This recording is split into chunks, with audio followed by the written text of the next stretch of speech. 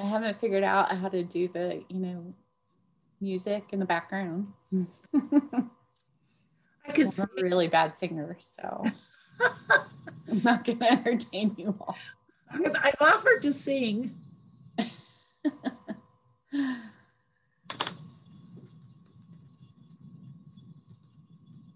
right. Well, and for those of you who are on the webinar already, feel free to, you know, enter into the chat box where you're from, what the weather's like, if you're done shopping for Christmas.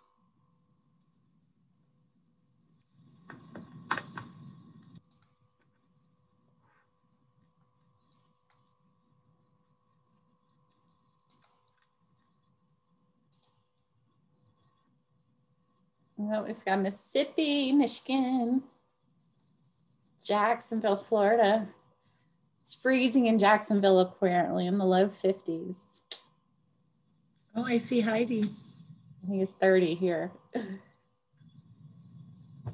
Cold and rainy. Yep, pretty typical. Atlanta, San Antonio, Arizona. Oh, the U.S. Virgin Islands. I, I'll, I would like to go there. All right, wonderful. Well, it is three o'clock on the dot here in Denver, Colorado. We are going to go ahead and start today's webinar. So thank you again so much for joining us. I'm Gretchen Shaw. I'm the Deputy Director here at NCADV. And um, today's webinar is Black Women and Domestic Violence, continuing the conversation. Today's panelists are Vetta Sanders, Joy Ingram, and Cyrena Martin was, um, I think, intends to join us today. We haven't heard from her, so we're not sure if she's going to be showing up or not. Regardless, we're going to move forward with this incredible conversation, uh, which will be moderated today by NCADV's President Ruth Glenn. We also want to give a special shout out to TOMS and say thank you for sponsoring this webinar. They have certainly made it possible for us to offer the webinar for free. So we are quite thrilled about that. Um, Gordon, if you could move forward with the next slide. So also for those of you who might um, utilize ASL translation, translation services, we do have interpreters available for today's webinar. So be sure to pin their videos to your screen if that's something you wish to utilize. Also, um, I, we have um, set this so that it provides live captioning. I'm hoping everyone can see that what I see doesn't necessarily mean others can see. So I'm sure by now, most of you are fam familiar with Zoom, but regardless, we're gonna go ahead and go through a few housekeeping items. Here you can see that you can manage your own audio settings with toolbar at the bottom. You can chat with others via the chat feature. You can raise your hand or, uh, at, or enter a question into the Q&A box we have found that it actually works most fluidly if people enter their questions in the chat box. But uh, we'll be monitoring both today and we will be leaving time at the end of today's session to address your questions. Today's uh, setup is going to be an open conversation. So Ruth is going to be asking questions um, of all the panelists and they'll be allowed time to answer. But, um, you know, be sure to utilize that chat box and we'll be uh, sure to address it at the end. Okay, Gordon, if you wouldn't mind moving forward.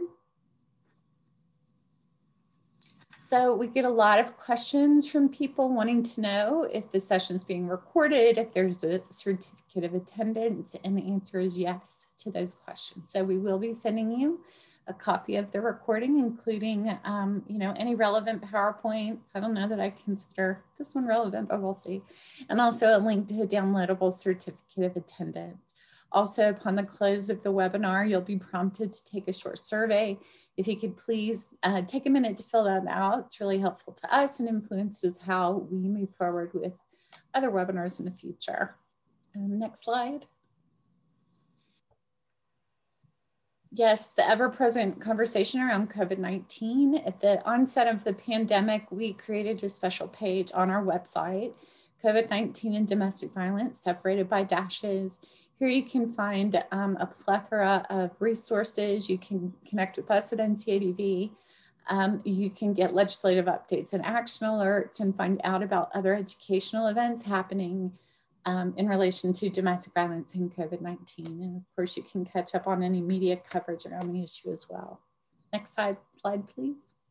If you um, are a tweeter and like Twitter, please use the hashtag today, hashtag AdvoChat, and follow NCADV on Twitter at, at NCADV. Next slide. All right, so we have a couple of polls. I like taking a minute just to get to know our audience a little bit. So here's the first. How would you define your community type? We've got urban, suburban, rural. Excellent.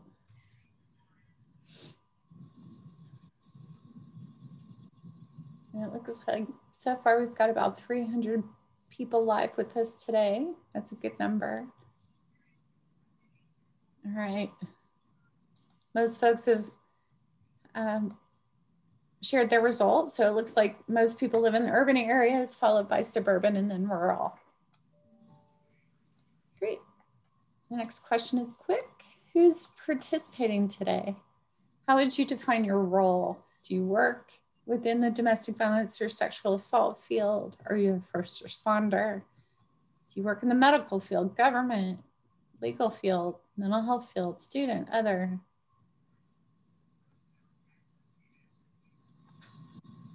All right. Education, fabulous. I see people are sharing as well. All right. So not a surprise to those us at NCADV that a lot of you are uh, working within this field. You consider yourself survivors, first responders. Uh, we see that we've got people from the legal, medical, and government field, mental health students, and then I'm sure plenty of others, education. I can't keep up with the answers. Anyway, wonderful. We're thrilled to have you all. All right, next slide, please.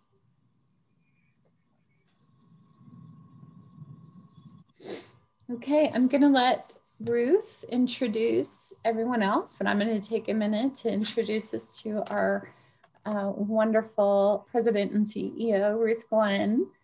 Uh, it's certainly a pleasure to introduce her today. She, Ms. Glenn, has worked and volunteered in the domestic violence field for over 25 years and holds a Master's of Public Administration from the University of Colorado Denver program on domestic violence. Ms. Glenn has served on many domestic violence program and funding boards, provided hundreds of presentations on domestic violence, victimization, and survival, testified before the Colorado State Legislature and United States Congress, and provided consultation, training, and technical assistance on a local and national level on victim and survivors issues. As a survivor, Ruth also often shares her experience to raise awareness about the dynamics of domestic violence. She, again, is the CEO and president of the National Co Coalition Against Domestic Violence. Previously, she was employed by the Colorado Department of Human Services for 28 years and served as the director of the Domestic Violence Program for the last nine of those years technically she retired in 2013 and then she found us and we've been lucky enough to have her ever since. So i am happy to turn the presentation over to you ruth and i'm going to go on mute and silent. Okay.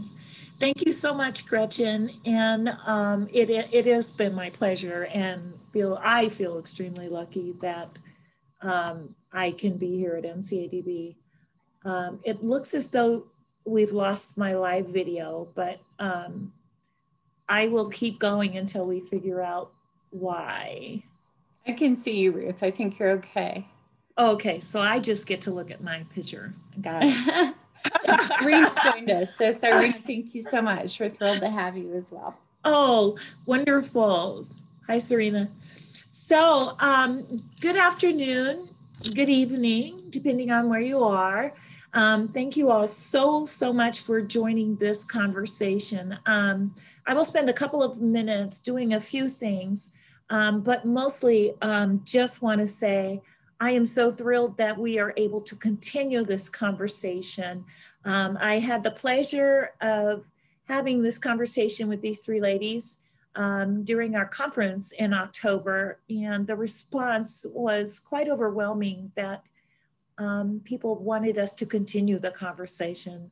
Uh, people felt like we were we had to end it too soon um, to uh, have the conversation, and they didn't feel as though they were able to ask the questions that they would have liked to have had just a few more minutes to ask. So. Um, special thanks to all three of you for for rejoining and partaking again. Um, so with that said, I'll just kind of uh, run through a couple of other housekeeping things and then introduce our esteemed panelists. Um, I would too like to say a special thanks to Tom's Shoes um, for making this webinar um, possible, as well as some other upcoming webinars that we'll have, uh, particularly around social and other issues that pertain to domestic violence and domestic violence victims and survivors. So we're very excited, excited to uh, participate, uh, partner with TOMS on this effort that they want to be a part of. Um, and as Gretchen said earlier, we had over a thousand people register for the webinar, which always makes me a little nervous. But um, I think most importantly, we know how interested people are in this topic, and particularly uh, where we are in the world right now with um, all of these issues that impact uh, not only uh, Black women, but domestic violence victims and survivors. Um, to say the least, 2020 has brought a host of challenges and topics to the forefront, all of which intersect with and exacerbate the safety landscape for victims and survivors of domestic violence. Black Lives Matters was one of the most predominant conversations that skyrocketed to the top of the list in 2020 and rightfully so, right along with the pandemic. Um, we've all uh, made COVID uh, part of our vernacular. Who would have thought? Um, so those two um, were the top topics of, is particularly the early part of 2020. Um, Black Lives Matter is one NCADV values, um, one uh, phrase that NCADV values as a critical um, part of our work as we continue to demand for safety, support, and uh, the rights for domestic violence victims and survivors. We are very well aware, aware that Black women are predominantly harmed by domestic violence, and that doesn't always exclude others. And I've had this, this discussion before that when we talk about Black domestic violence victims and survivors, that we're excluding others. And I would say, no, we're just making sure that uh, Black victims and survivors are included. So um, just to make that very clear. Um, so with all of that said, um, because of the uh, back to again because of the popularity of the session that we conducted at the the recognizing your power conference in october um, uh, serena joy and vetta were so gracious to come back together and continue this conversation. So i'd like to to preclude that by saying um, some of you may hear similar questions again, but we, we wanted to make sure that we included the most um, important ones and that we didn't lose those in continuing the conversation because sometimes they help set the context even though you may have heard them before. Uh, our intent for this is to better understand and to better support um, Black women who are victims and survivors of domestic violence. Um, we hope that this will help you think um, and really engage not only during this webinar, because this, this is only an hour and a half, right? But really begin to have other conversations about how we best support and provide safety for Black women um, who experience domestic violence. So um, I always feel very badly when we try to, to encapsulate these very important issues and topics into an hour and a half when we can easily spend a week and a half on discovering that.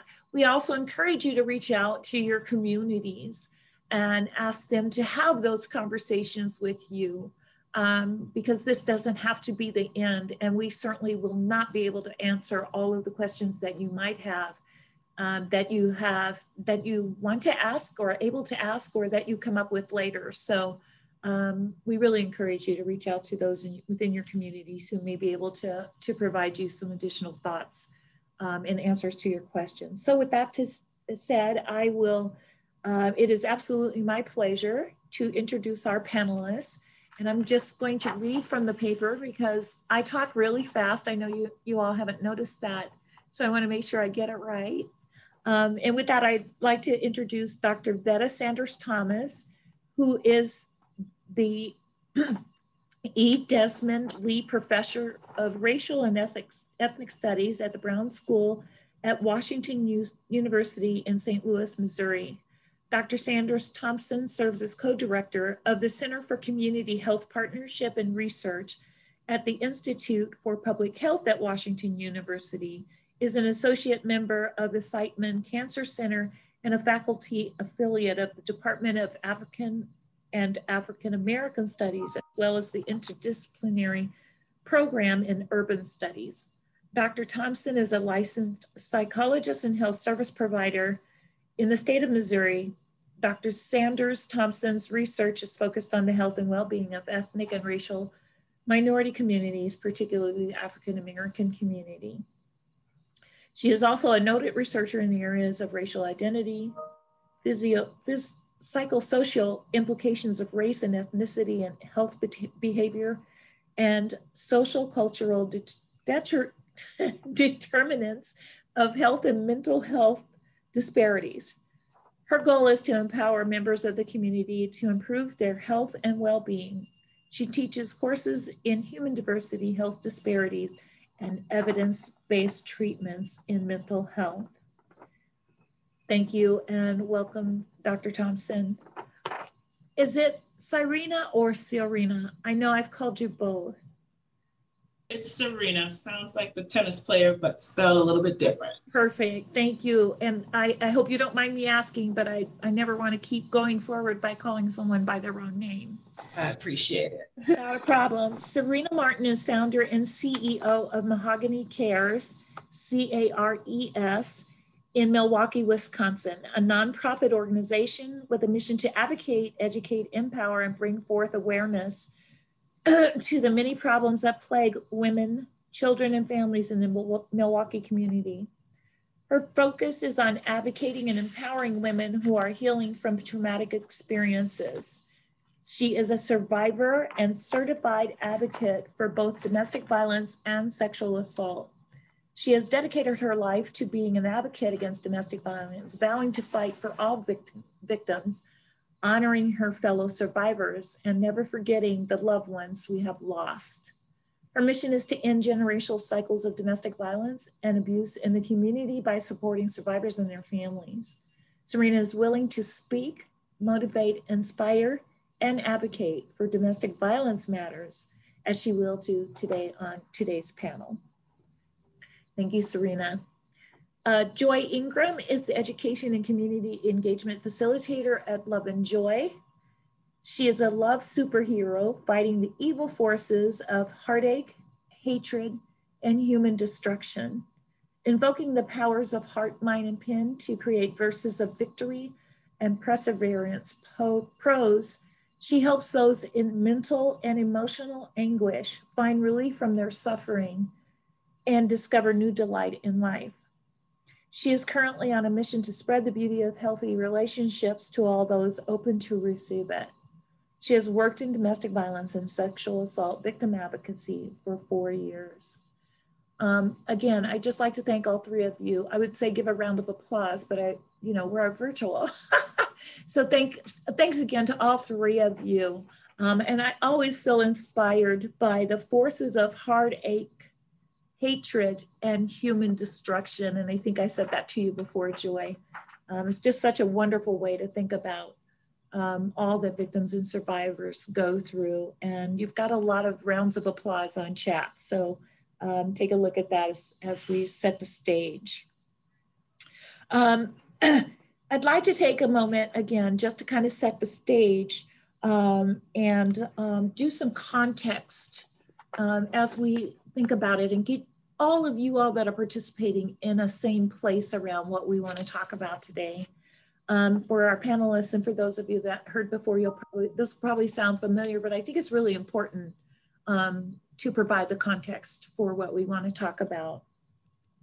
Um, I'd like to jog all of your collective memories in late May and early June, June of 2020, and amidst a deadly global pandemic, beginnings of a deadly global pande pandemic, people took to the streets all across the country, as well as internationally, to protest the unchecked state violence against Black people. In the article, A Glorious Poetic Rage, New York Times staff writer Jenna Wortham described the moment most eloquently and to a T. In the wake of perverse constellation of deaths at the hands of police and vigilantes, America's current in, incarnation of the civil rights movement, organized under the rallying cry of Black Lives Matter, again, and as in the past, is more powerful than ever. Ahmaud Arbery, Breonna Taylor, Nina Pop, Tony McDade, George Floyd, and many, many others. I'd like us all to take a moment to think about that. What brought everyone to those protests? Alicia Garza, the civil rights organiz organizer based in Oakland who coined the phrase Black Lives Matter, in a 2013 Facebook post after George Zimmerman was acquitted of killing 17 year old Trayvon Martin, also said the following of this moment. And now, countless lives it's finally seen as relevant. So from 2013 to 2020, um, the phrase that was coined is back before us. Um, and most poignantly, to think about is that seven years later um, and hadn't much changed. Corporations like Ben and Jerry, Sesame Street, and Nickelodeon took to social media to declare Black Lives Matter, whereas our president um, said just the opposite, and in fact, invoking when the looting starts, shooting starts. Um, accused by Taylor Swift, of all people, of stoking the fires of racism and white supremacy. What we saw during those first few weeks and continue to see um, as protests will ever re be remembered as what Wortham describes as the biggest collective demonstration against state violence in our lifetime. So now that we are all here and thinking about that, and the uh, urgency and recognition of the Black Lives Matter movement, We'd like to shift the conversation about the impact of domestic violence on Black women. What does this moment to history mean to you personally and professionally? Again, going back to how I opened the webinar, which is we know that disproportionately Black women and other women of color are disproportionately impacted by domestic violence. So when we put in the context, put that in within the context of Black Lives Matter, um, seeing Black people being harmed um, at, within the context of what we're talking about, and then understanding how that might impact those women who are being impacted by domestic violence for the most part. Um, I'd like for us to begin our, our uh, question and our panelist um, question and answer. Reminding everyone that there'll be a few minutes left at the end where we can um, take your questions and provide an answer. Um, so I'd like for each of the panelists to just take a minute, three to four minutes to answer those, the following question. Black Lives Matter movement has increased conversations about how the Black community is often failed by and further traumatized by law enforcement. How have these conversations influenced conversations around domestic violence and Black women? Have you seen changes since the onset of BLM? And if so, what changes? As 2020 comes to an end, we only have a few more days, y'all. How are, how are the conversations around BM, BLM and domestic violence shifting, if at all? Um, I'd like to start with Dr. Thompson and we'll, we'll reverse the order a little bit later. Um, mm. What I will say is that in the context of Black Lives Matter, I think um, there has been much more intentionality about um, all Black persons and bodies being considered.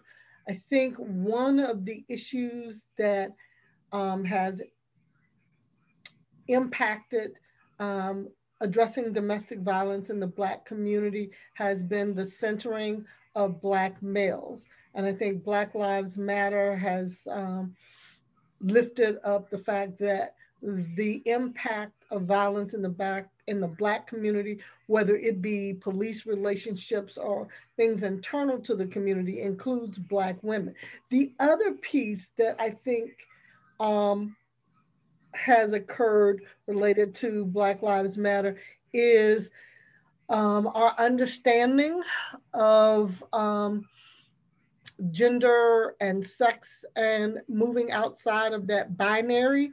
And so um, the fact that domestic violence occurs in the context of, of same sex relationships as well as um, to the standard um, heterosexual relationship.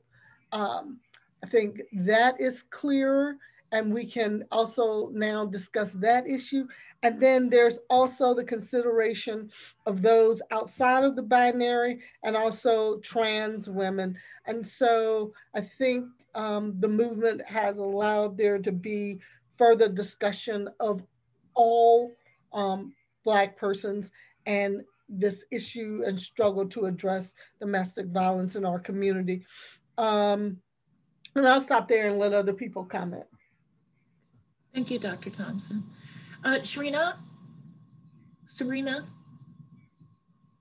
Yes, I agree with everything that uh, Dr. Thompson.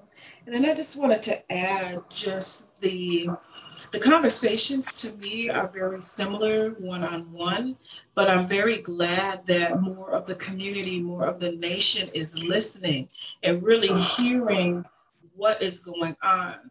The bottom line for women, Black women, or any um, survivor of domestic violence is the safety. When you talk about safety, that's all that they want. They want to be safe. They want to be um, de- de-escalate the situation. And the fact that now the videos that this is the truth. These aren't made up situations. People aren't saying, "Oh, we were scared when the police got there. We didn't know what to do."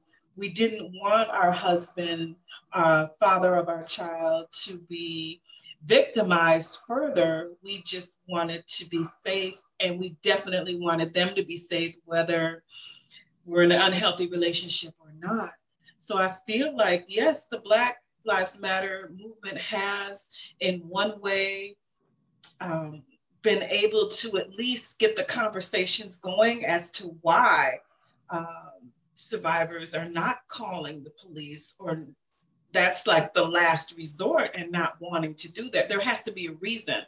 And those reasons now have proof with the videos. There's proof. It's a little bit easier maybe to have that conversation with either your advocate or the organization and resources that you are dealing with saying, hey, I'm not sure that mm-hmm. I I'm not comfortable with getting um, the police involved or any legislation involved. I think that, yes, this is a time where we're able to speak up as advocates and say, hey, this is exactly what we've been talking about.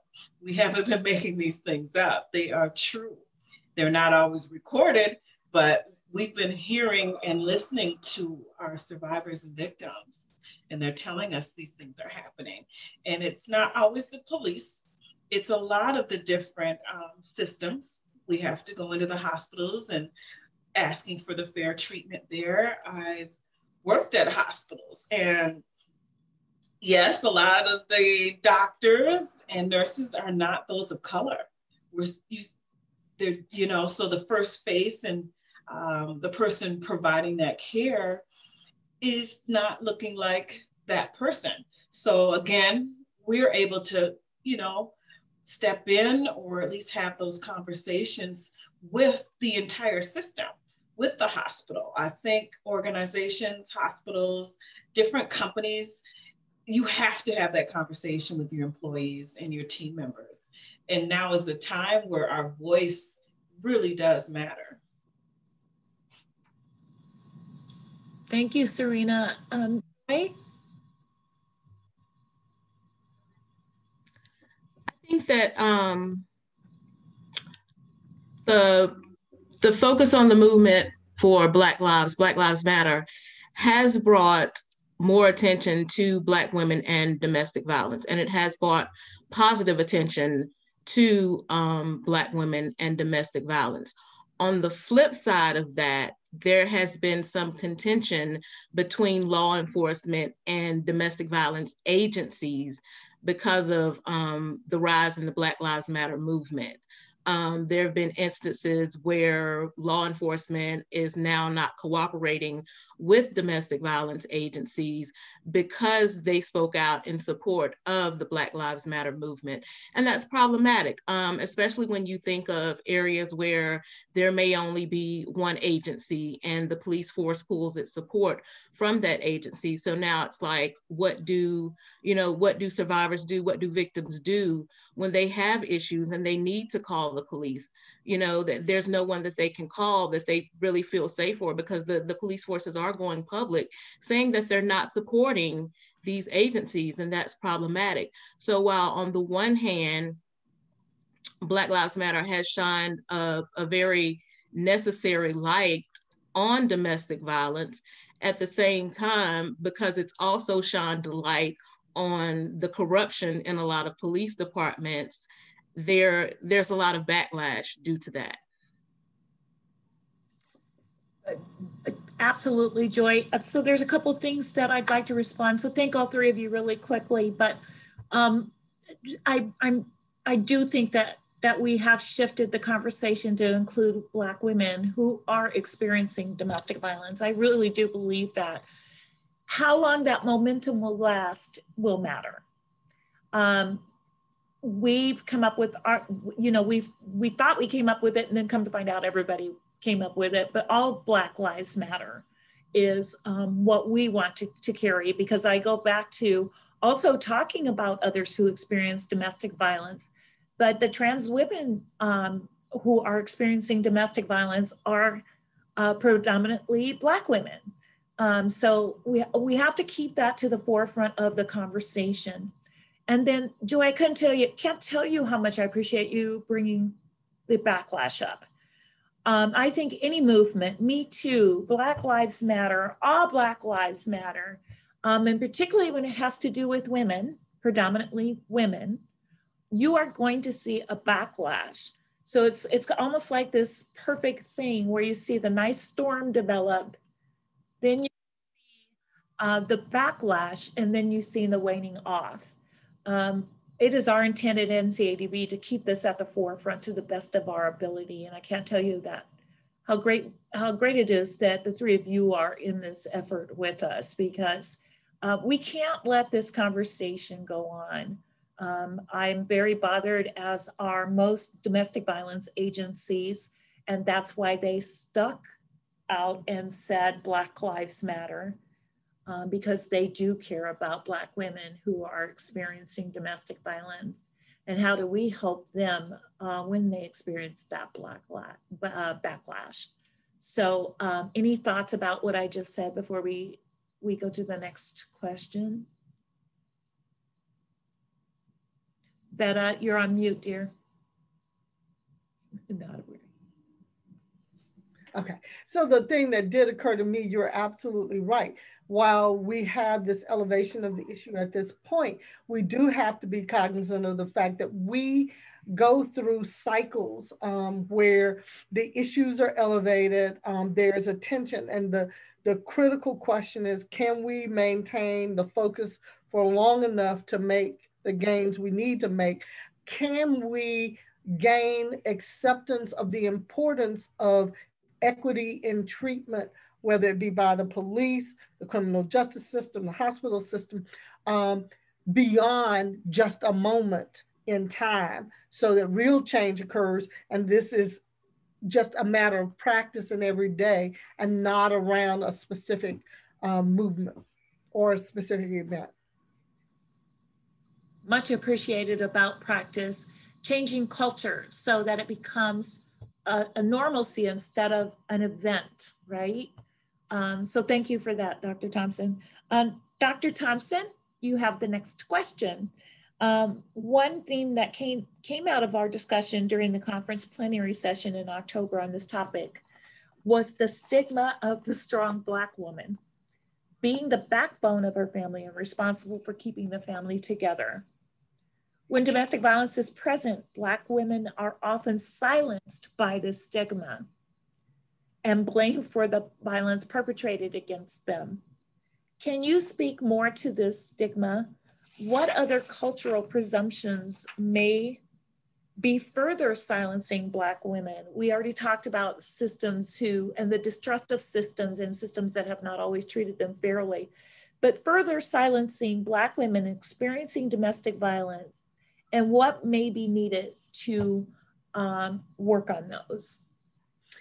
So you know, it's it's really interesting um, that the idea of strength would be stigmatizing and would be a negative for Black women, but it often is. That's the reality.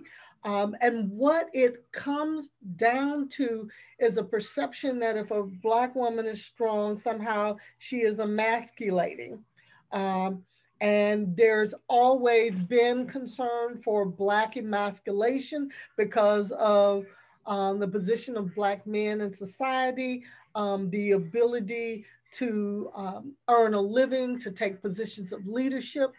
But, you know, that speaks to a patriarchal notion that is also core in the larger American society. And that is men are to be in leadership, men are to be um, the earners. Um, men's work has an external value um, that should that that they should receive pay for. Women's work or work that women do is not as valuable.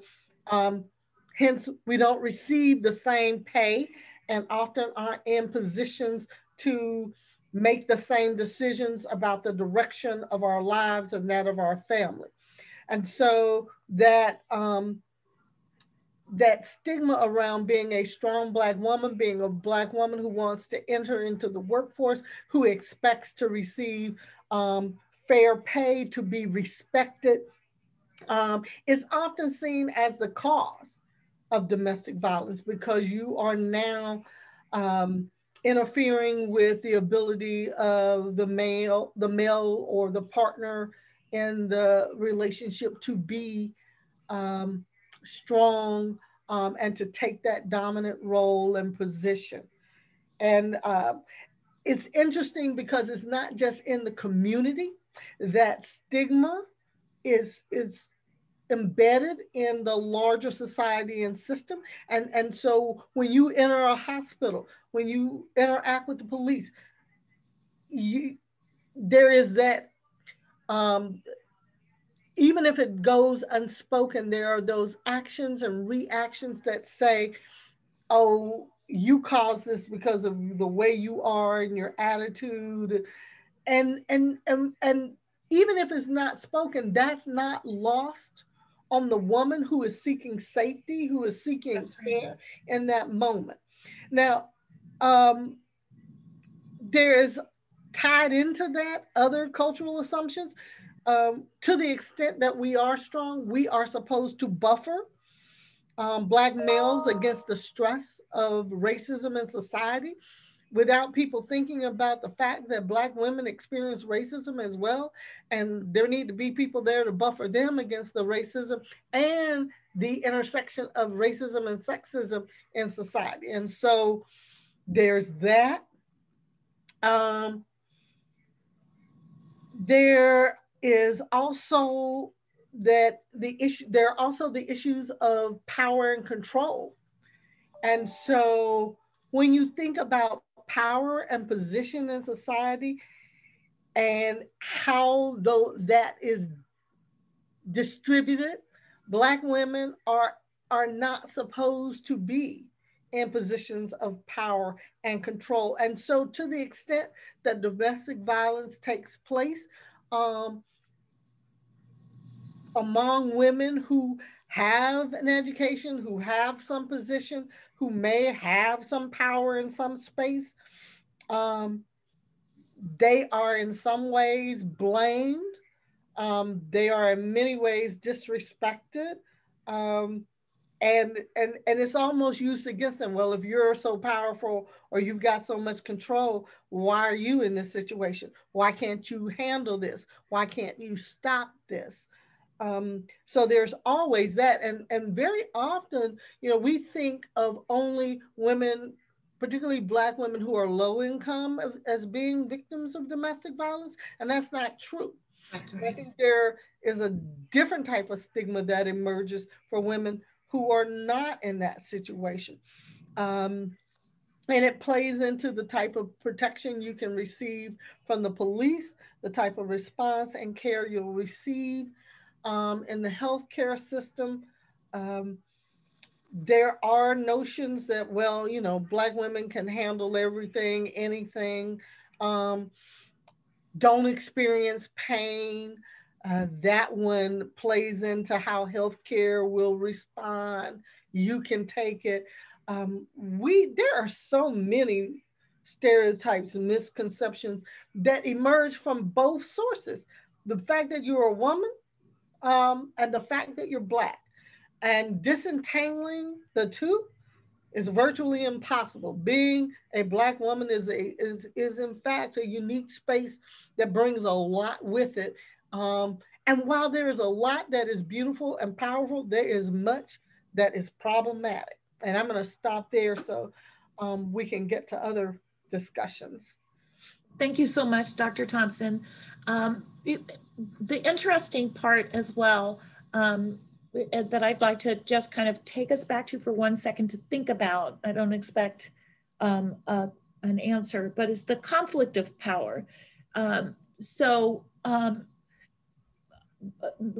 the men in Black women's lives don't like to see that Black women have power because of the emasculation that you talked about. Now, everything is general, so I want to be very clear about that. Um, we love Black men. This is not about them. We love men in general. This is not about them. This is talking about construct and what happens. Um, but I see the conflict of power, um, which is um, they don't like us to be powerful. But then you have others within our sphere of work, school, home, whatever, who see us as powerful and scary.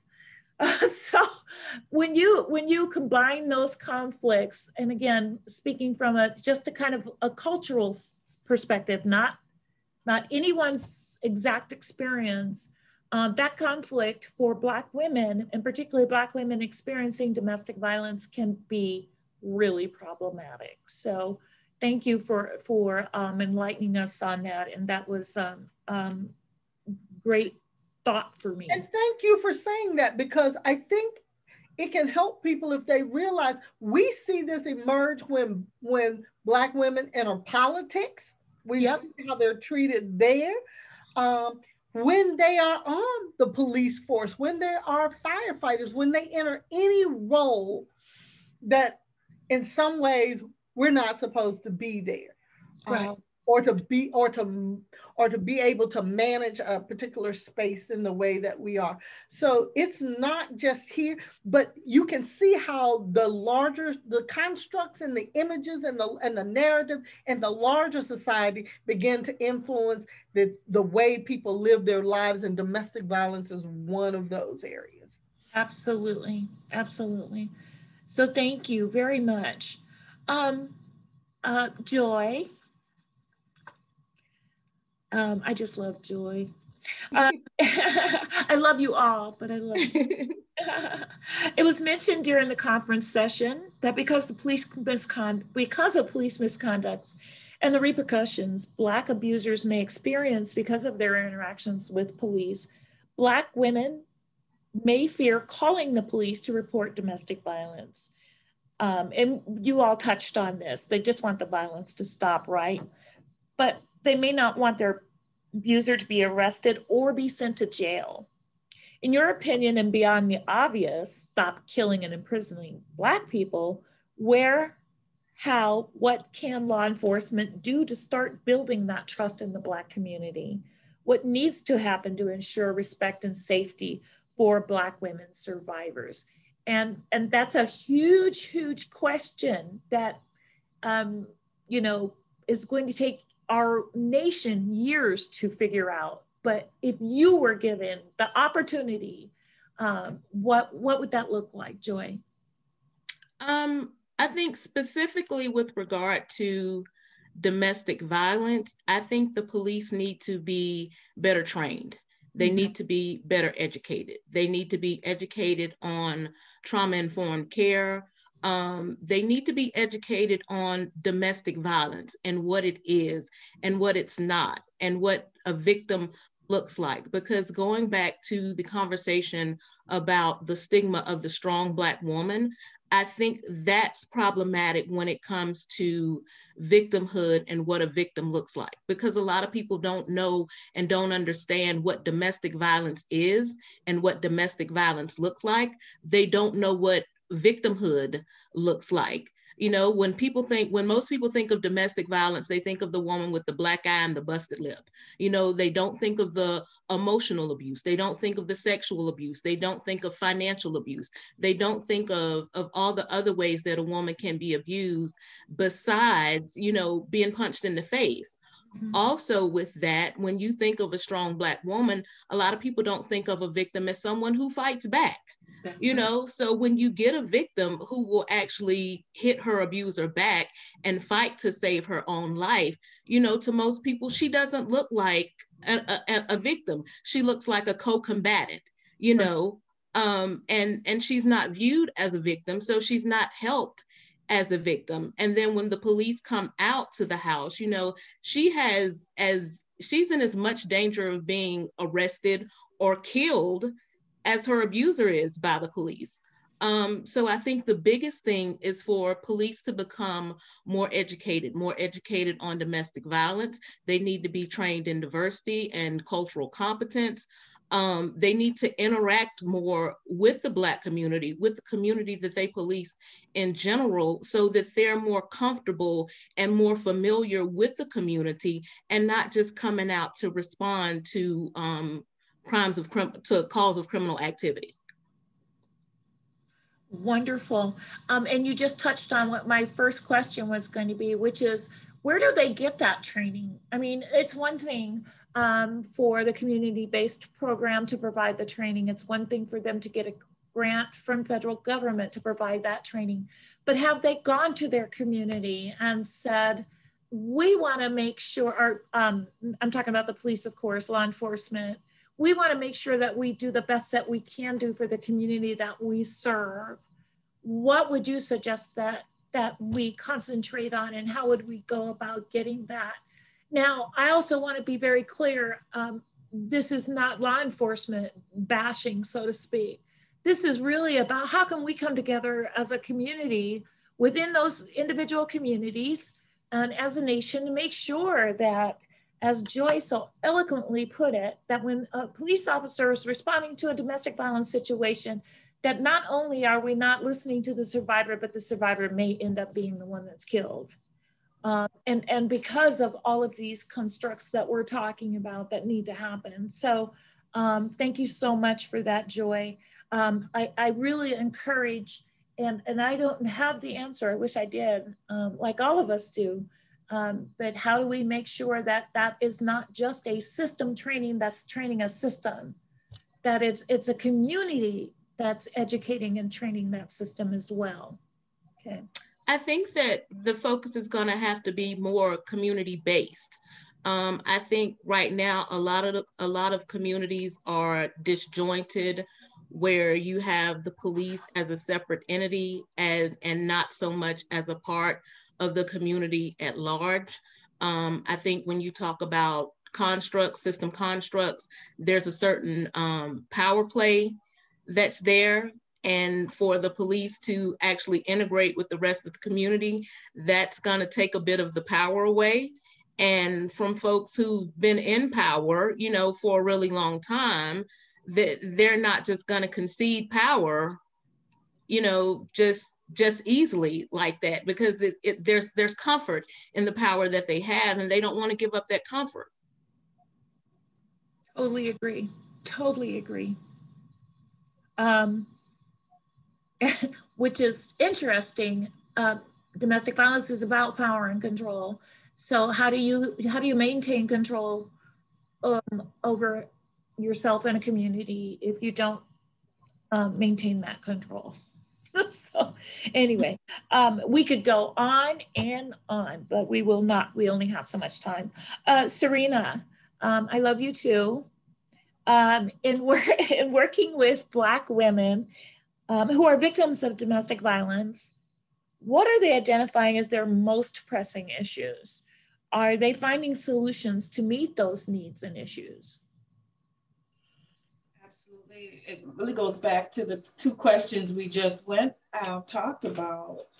One of the biggest is, I think, well, we're here in Wisconsin. It is, it's getting there. It's cold. It's below 30 degrees now. Oh so my goodness. Absolutely. Ooh. We have, yeah, we have major concerns. I had a associate right. come by today. She's doing a, a, giveaway. We gave away hats and warm socks and different things. The homelessness, you know, the leaving, the transitional is not um, always wanting to go to a shelter. Um, right. You may own your home or you're comfortable there. That's your neighborhood. Your kids go to school there. You go grocery shopping there. That's my home. You don't want to feel as though you're being punished. Now I have to redo everything. I have to find a new place to live. I have to come up with the down payment, uh, or I have a mortgage. What are you know? What are your real options? You know, you may or may not want to go to a shelter that's not. You're working. They have rules and different things. We're not bashing shelters whatsoever, but I've had so many um, women and survivors say, I just, that's not what I want to do. I I want to stay with my children. We've had situations where uh, in a shelter, you can't take a child over 10 or 12, a male child, you know, different things like that, where that shelter just isn't an option. So, what do I do? How do I transition? I really want to leave the right. unhealthy relationship. Where am I going to go? Staying with friends and family. We know how that can be. It's, oh yeah, definitely a blessing. Right. But then you're, you're again, you're under somebody else's control. They say when you can come and go, they have all the rules. So I think, you know, definitely transition and shelter, that whole big piece. We have our shelters are filled to the max here. Oh my goodness. So I'm calling 10 places and relocating to somewhere 20, 30, 40 miles that your doctor's here and that I'm in the city of Milwaukee, your doctor's here. The only place I can get you in is 20, 30 miles, 40 minutes from here with no transportation back.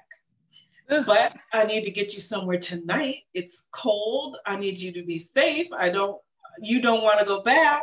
So those are some of the options and struggles, definitely. Um, one of the other, definitely financial the power. We just talked about that. I won't go back over that, but you know, you you're having you even having to leave your job. That's a part of it again. This is something that you've you're proud of. You're there, you're doing a good job, you're comfortable. Now you have to start over completely and maybe with nothing. You may have to leave everything there. That's not a good feeling you've worked hard for your furniture, you've worked hard for all of these things. So I think just the finances, what am I going to do in this situation of trauma where I can barely think at all? Now I have to make a decision right now to leave everything I own. Right. And maybe I came to the hospital without my children. They're somewhere else. What, you know, it's, I don't have my driver's license. There's so many different things to think about when you're in a state of emergency. I think that now during this whole pandemic, we have had a whole 360 turn of the way we can even provide services. One of the things that I've noticed very, um, maybe it's always been, but as of right now during this pandemic, when I'm getting the call or I'm getting a social media hit or I'm getting an inbox, a text, it's not from the survivor. It's actually from the family member, a co-worker. People are posting pictures of themselves that with black eyes and they're just asking for this help in in ways that I that are unbelievable. So then we have as an advocate, I'm the in-between. I'm getting a call from somebody's mother and then I have to try to contact the person. So there's the more people you have to go through, the harder it is to coordinate and get everything going. So I think that right now with the pandemic, people are in their homes. We're in a stay home ordinance. You may be at home with an abuser. So, how are you going to contact and ask for help? I have so many people, their phones are under restriction or mm-hmm. taken. I'm saying, can you meet me at the grocery store? That's the only place we really could go. Um, we're really having to be strategic. We're really having to be creative. We're really having to pay attention. The, the signals are coming in. We need to be at alert for some of these red flags because it's not the traditional way. I'm not picking up the phone and saying, I'm in a domestic violence relationship, I need help. It's a lot of different signals that we're picking up on. A lot of things are, people are posting on social media, just maybe even small hints of what's, oh, you know, I've been locked in the house. You know, you kind of, you, it's time to ask these questions and dig a little deeper. Right. Um, right. Offering, we have on our website um, COVID 19 tips, you know, stay out of rooms where there's um, weapons, just different things that we're trying to get out to the community just regular hints, you know, the clothing that you're wearing, having a bag packed. We're really trying to get that information out. It is a little bit more challenging, but we have to step up to the plate. We have to use social media. We have to um, figure this thing out.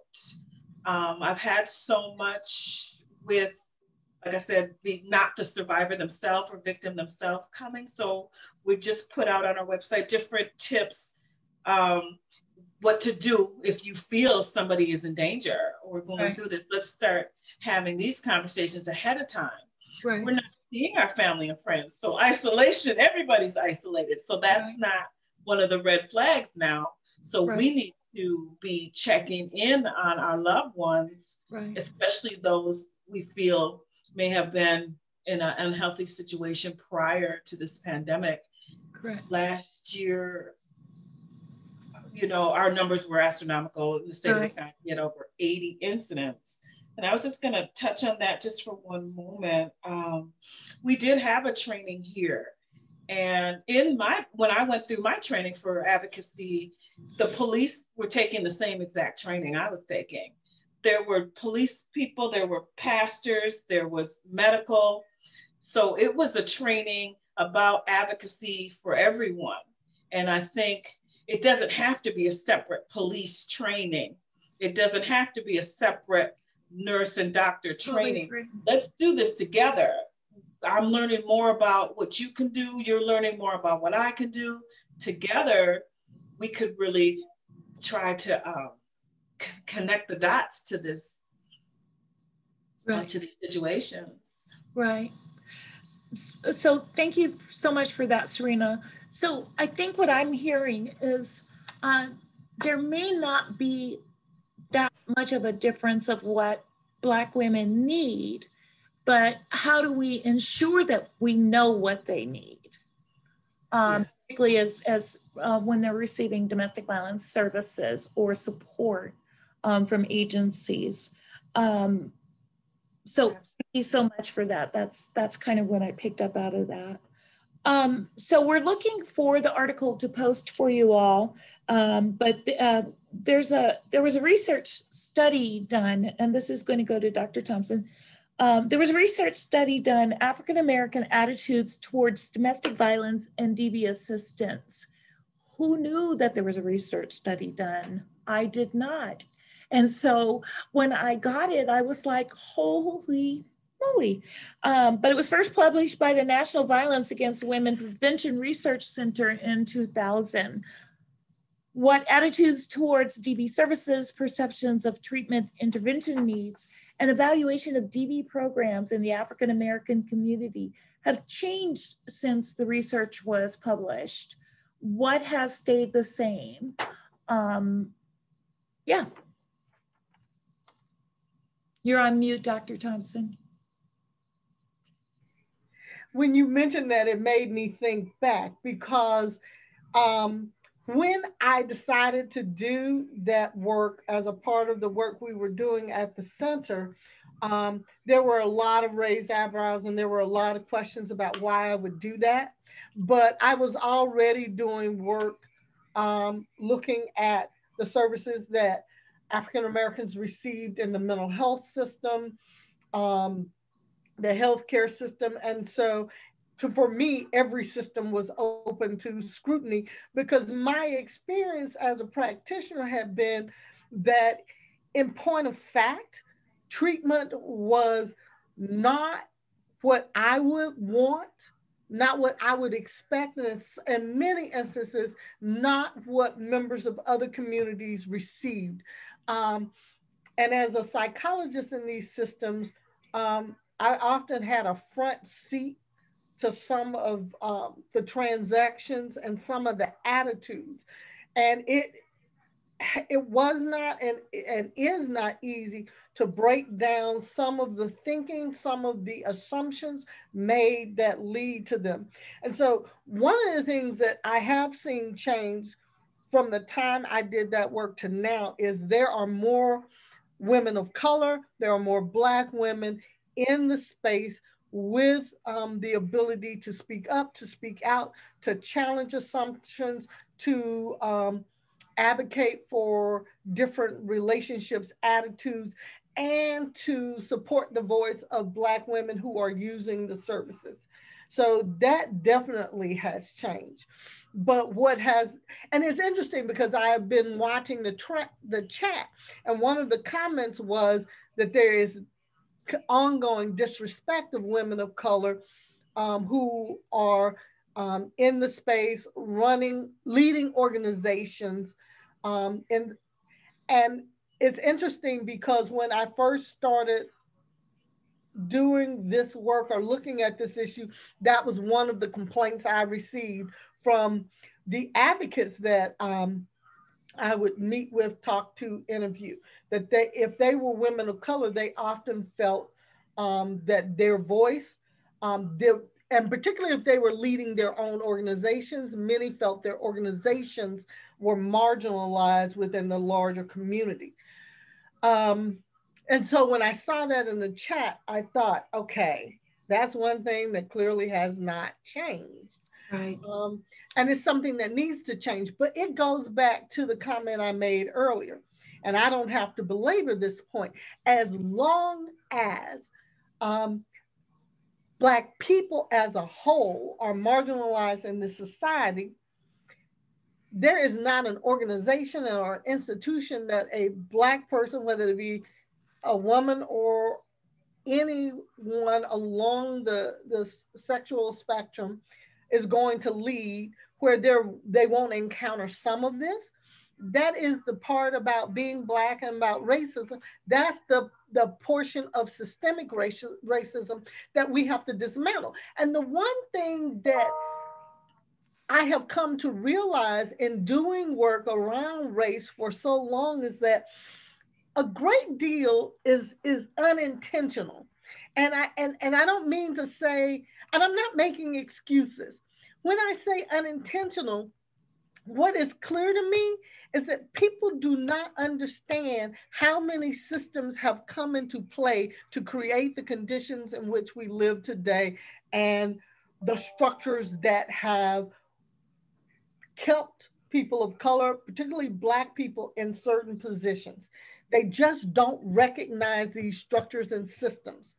Um, we have a lot of work to do to unveil where they are, who they are. And it's not just the police.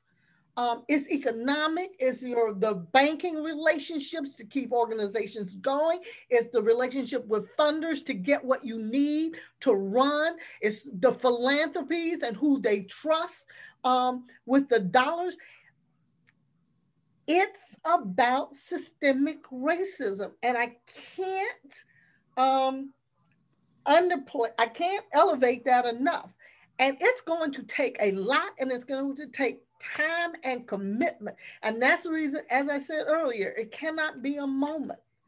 Um, that's right. So I, I understand why um, women of color who are running these organizations um, feel marginalized sometimes, encounter these barriers because it is just part and parcel of living in the society we live in. And that's one other reason I think the Black Lives Matter movement is important because it elevates and it starts to pull that veil off these systems that we have to intentionally examine and decide where we make changes in order to create space to do the work that will improve lives and outcomes and well-being for all um, Black people. And, and that includes, but is particularly important for those who are vulnerable. And I think at this point, we have to acknowledge that um, in a, system, a, situation of domestic violence, um, women are vulnerable. Now, that doesn't mean they're not strong. It doesn't mean that they aren't capable and they can't move forward and be productive in their lives, but in that moment, they are vulnerable. And in this society, being vulnerable as a person of color is bad for your health, just in general. And so I'm going to stop there.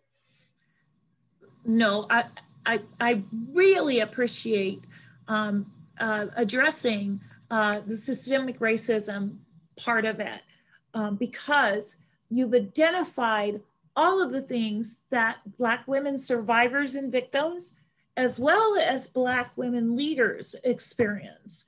And um, many of us, uh, as a Black woman, woman um, I will tell you, I, I go for very long periods of time forgetting that there may be something there that I've, I've just gotten either so accustomed to or I've actually been encultured to or um, the system has been encultured to um, that you don't draw attention to it or you don't think about it or you just keep going.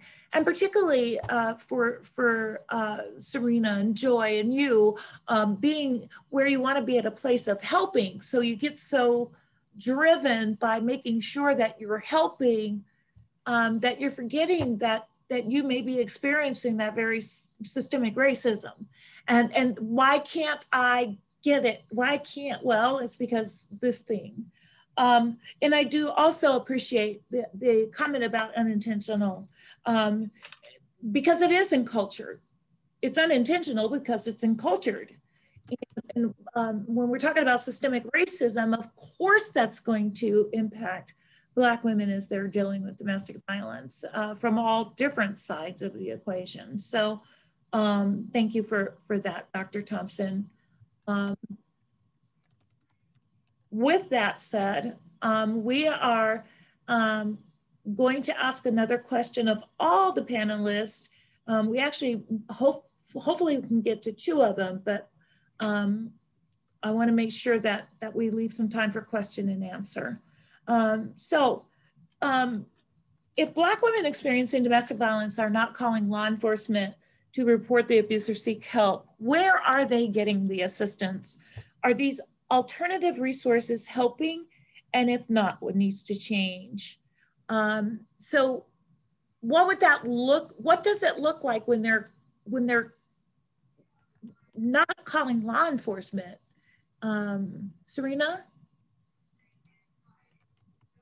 Absolutely. I was just going to say, with all of that, um, there's so many small grassroots organizations, myself, and then I have associates and sisters and everybody. They have started these organizations again, we go back to what Dr. Thomas just said, the funding, the having to, like I'm a master's program now because I have to have twice the amount of education and accolades and credentials than my co-partners. And, You know, I, I've applied even for different, you know, director and different positions, but it's a it's a challenge. It's a challenge. You know, we have a mainstream, um, awesome, awesome program here in our city. However, you know, 85, 90 plus is African American, yet it's being ran in different, um, you know, it's being ran mainstream. But we'll just say that. Right. And uh, you know, we can volunteer there and do as much as we can, but like you're saying, Ruth, we uh, you got to take care of you too. Um, we really are trying to put forces together and be available. Not everyone again wants to call the police, so we do. You know, we offer every other support and resource that we can. We're helping with employment. We're helping with finding different housing. It, uh, but it's time Right. You know, somebody needs to leave now. We right. can find a hotel for tonight, but that's not a solution. It's a temporary band aid on a huge right.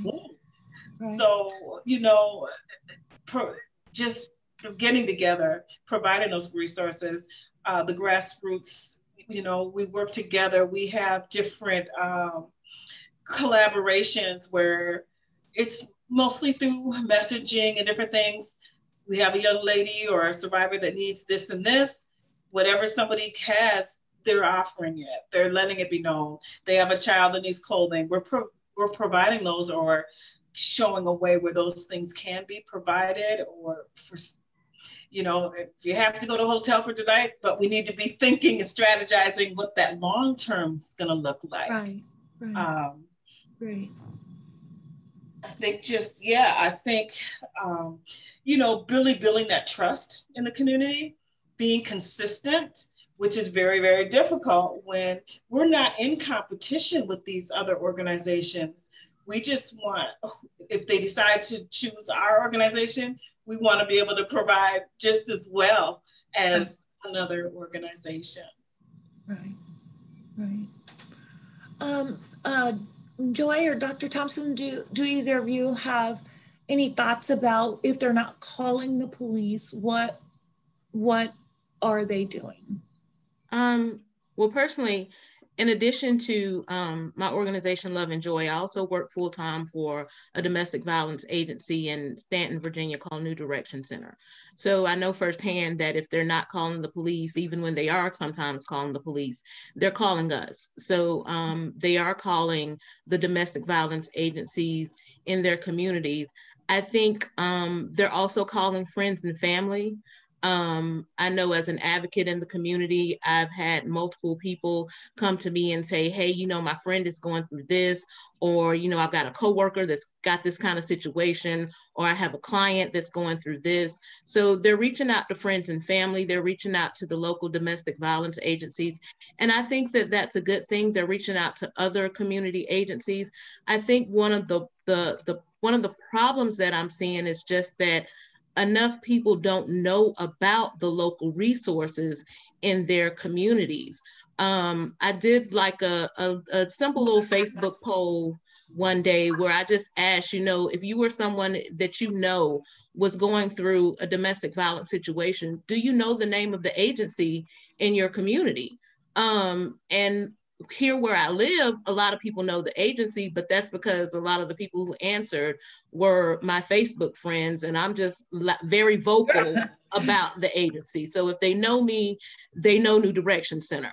Um, but for people in, in other areas, I found a lot of them just don't know the availability of the resources that are there for them. Um, so I think that a lot of times, if they're not calling the police, sometimes they're suffering in silence. And I don't have anything to add because I've been looking at the chat and listening to them, and I think they fully answered that. Right, right. Uh, and I and I would um, agree with that, Joy. Um, is it usually it's to the point of crisis where you're going to call the police, right? I mean, real crisis. Right. And so you then you make the determination that if I can't trust the person that's hurting me and I can't trust the people that might should be able to respond, um, then I'm just gonna deal with this here. So suffering in silence is good. So um, I hear tell that we have many, many questions. Um, Gretchen, is this where I turn it over to you to? Um, Can I just say one thing, just very quick? Oh, sure, Serena. I'm sorry about that. That's all right. Just in, it's that, um, you know, the first time you call the police and then maybe they come, don't come, and then some survivors are kind of a labeled address now. So that may be a reason they're not calling. I have had those situations where I'm not calling them. It's embarrassing. I called last time. I called last week. Now it's time to, you know what I mean? Time right. to call again. Right. We have been able to just talk to the police and say, I've had a police officer tell me that if they weren't married or did not have children together, this was not domestic violence. Oh. So, yeah, just the retraining and getting those opportunities to really talk to the police and making them for yourself. You know, when I was in that situation, it was a time to educate right. a little bit more and, you know, right. request that maybe they get to take some more training on that, you right. know, right. with the local agencies that we do have. And maybe a lot of the times the police do carry brochures of agencies that we have. So maybe they're saying, yes, I call the police, but I don't want anybody to go to jail. What can I do? the police having those brochures, phone numbers, stickies, magnets, you know, to provide to um, victims would be another way that they could work right. together instead right. of bumping heads. Right, right. Okay, um, thank you so much, Serena, uh, for following up on that. Uh, Gretchen, how does this part work? so I am happy to just open up the chat box to. Okay. We have a number of questions that have come in over this session. So I'm going to do those in order of how they started. And we'll move through as many questions as we can. Um, so to address supporting Black women who work in the anti violence field, how do we encourage and support Black women? Part of the disconnect is because Black women are not represented in leadership in many agencies, and oftentimes the dynamic of power between white led agencies and survivors who are Black is challenged. So, what can we, um, as a movement and as people who identify as white, what are some ideas around how we can better empower uh, Black women.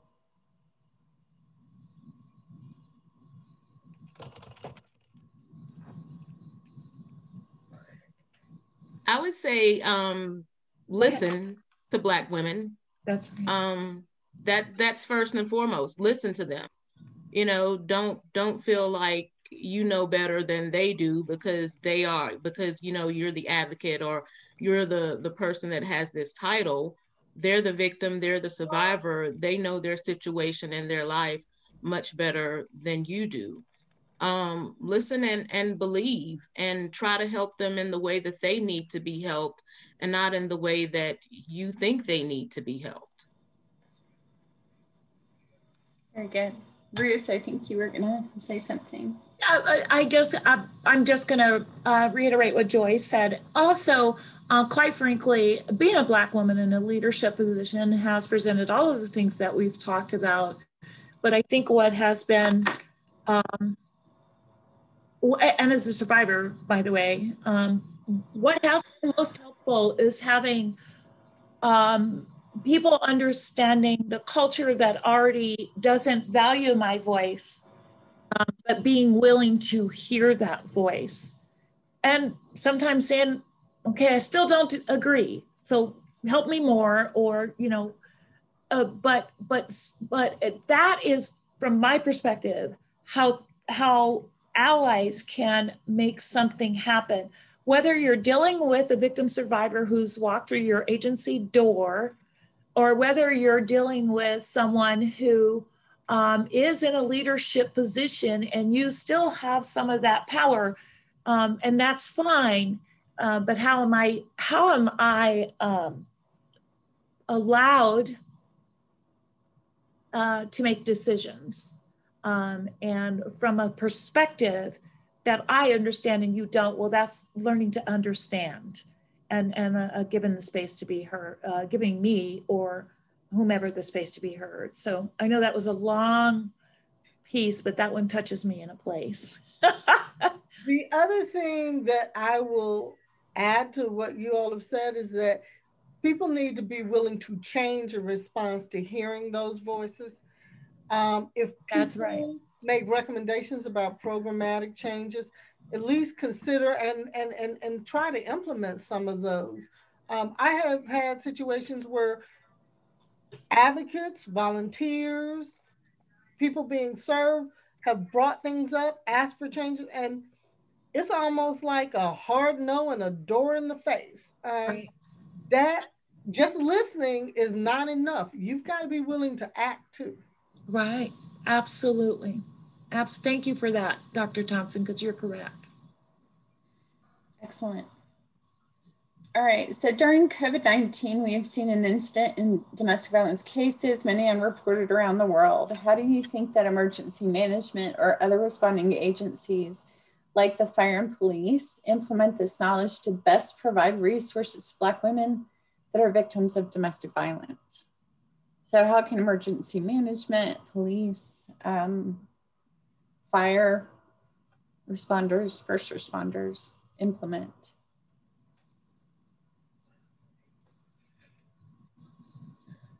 I think at this point, one thing is preparation. They need to know where the resources that are available are, what their capacity is at the time. A lot of it is the same thing we're dealing with in many other areas. Um, COVID changed capacity, COVID changed yeah. you know, how people can work. And so they need to update their systems, update their information, um, and use that to respond accordingly it's having this on the radar as a part of your preparation and planning. Very good. Okay. Um, the next question is How do you see the power and control wheel um, not applying so well to Black women compared to white women? Or are you seeing this? how is the power and control essentially factoring into assisting um, Black women who are victims of domestic violence, or is it? From my personal experience as a survivor, um, I feel like the power and control wheel applies equally um, to Black women. Um, I think that when I came to understand that I had actually been a victim of domestic violence, I took a look at the power and control wheel and I realized that out of eight spokes, I think he hit six on the wheel. And I know the only reason one of them wasn't used was because we didn't have children together. Right. So, you know, that was that was pretty much it. Like it was basically the same all the way around the isolation, the physical threats, the intimidation, the um, financial abuse, all of it, all the way around. So I think that it can, it, it might look different in, in certain ways and in certain instances. And there may be certain things, you know, certain times where, you know, not all of the spokes are hit, but I think that in, in just about any abuse case, there will be some aspects of the power and control wheel that you'll see in any abusive relationship. Totally agree. I agree. And just, uh, you know, as different ethnicities, different races, you know, are, are raised different. And it's what happens here stays here and to keep it a secret and don't tell anybody. Nobody should be in your family business. It may look different, but you know, as that trust grows and things grow, that victim or survivor may be able to share more of what's really going on. Um, I think a lot of people only ask for help when it's physical, and I have a bruise that I can go to the hospital or say, hey, this happened to me. I don't think there a, a lot of um, survivors and victims aren't seeing it as as um, emergency or as um, horrific if it's not physical. I think right. maybe some of the training and uh, just advocacy needs to be better. That and maybe that could be some of the de-escalation that it doesn't have to get to the next level to physical abuse. Oftentimes it starts with so much of the other of the power and control wheel, the what mm-hmm. you're wearing and all of those things, the verbal, and then it escalates to physical. I think by the time it gets to an advocate or to somebody calling a shelter, it's usually physical. Right, right. It's, but but I, I I would like for us to think about um, all of us uh, collectively, if we really apply that, and then we're talking about systemic racism um, as one of the barriers to even uh, knowing um, or, or uh, addressing the domestic violence that we might be experiencing, how does that change the power and control wheel for Black women? Um, so I know we can't answer it right now, but I tell you that I think that's an intriguing question. When you when you talk about that that outside piece, uh, what does that change? So um, let's put on our thinking caps about that. Gretchen, do we have time for one more? Uh, we do. So I'm going to combine. Uh, there's a few questions along this vein. So if Sir survivors are not calling police and looking to alternative methods of support um, or alternative methods to addressing violence. What are your thoughts on things like restorative justice and transformative alternatives to um, carceral slash law enforcement slash judicial systems? What do you all, you know, do you have opinions on how those may work for survivors.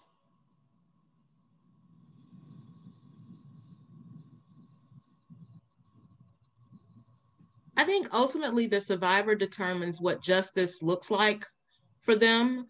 Um, so in some cases, the transformative or restorative justice systems may work versus incarceration and getting law enforcement involved. For some other people, that may not work for them. Um, I think the main point though is is systemic behavior change um, and and addressing domestic violence for what it is and having having survivors be heard and be understood and to help them on their journey to healing um, and to also just to to educate abusers that what they're doing is abusive um, and it's wrong and it's not it doesn't have to be their normal way of life that masculinity doesn't have to be toxic and abusive that women are not here to be their property and do whatever it is you know that they want to do to them. Um, and i think that needs to be a bigger part of of what we what we look at as justice. Yeah um, and, and I heard a comment today that, that I would also add to that, Joy, as the closing for um, this webinar, and then Gretchen will have a couple comments. Um, I would say um, what I heard today also kind of touched me, which is um, we have we have always addressed accountabilities for abusers from a carceral perspective. Um, and so outside of what a victim or survivor might choose as restorative justice or alternative transfer, whatever the, all of those terms are, what are, what are we doing um, to ensure um, that we're identifying or trying to figure out what has caused a man to cause harm? Uh, I don't know. And, and I know that it's probably not going to happen in our lifetime, but um, I really do hope that we get to that um, because it needs to be a twofold approach, right? You can't behave that way, but also help me understand why you do because this is not okay. So, um, uh, Gretchen, thank you so much. Um, You're very I, welcome. Thank you all. Yeah, so we've got um, two minutes, maybe just sharing final thoughts. I should address, there are a few questions we weren't able to address on this list, but um, we will figure out how to share the chat. I think that's possible. So um, I just want to say thank you to all. We will be following up with an email that includes a link to the recording, a certificate of participation. We'll explore trying to um, attach the chat. And um, yeah, you can reach out to us at main office at ncadv.org or webinars at ncadv.org if you have questions for us or the panelists that were not addressed during today's webinar. So Ruth, did you have any last comments?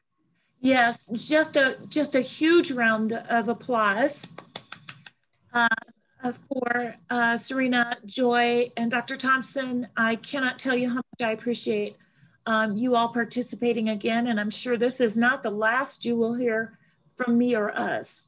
Um, so be prepared and continue on, ladies. You are strong, wonderful, and beautiful and awesome. So thanks to everyone uh, for joining us, and we hope to talk and see you soon.